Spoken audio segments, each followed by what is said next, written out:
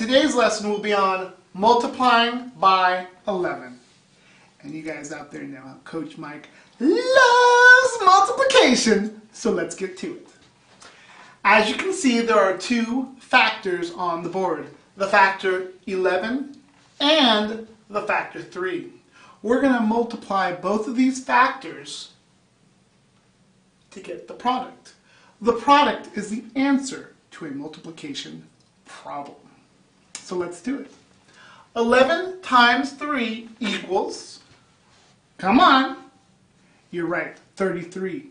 You knew that, and I knew that because of memorization. Let me write it.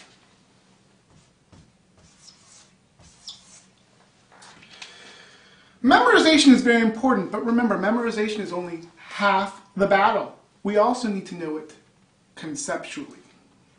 Multiplication is the shortcut for addition. Let me show you.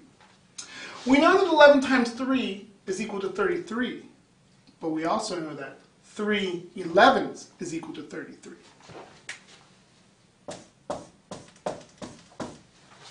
Eleven plus eleven plus eleven equals 33.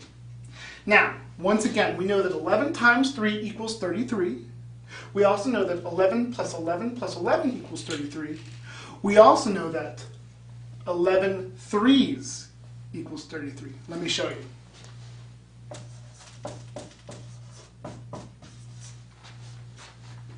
Three plus three plus three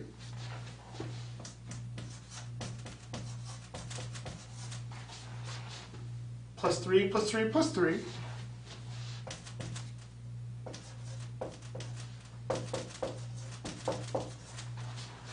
Plus 3 plus 3 plus 3.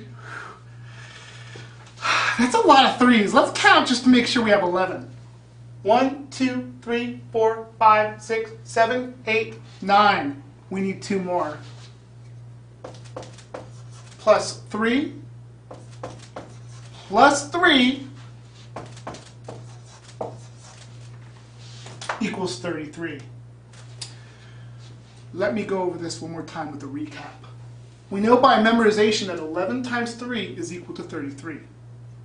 We know conceptually that 11 plus 11 plus 11 is equal to 33.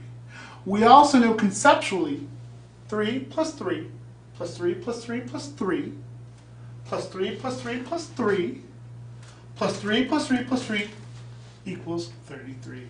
Coach Mike at my growing brain. Challenge yourself.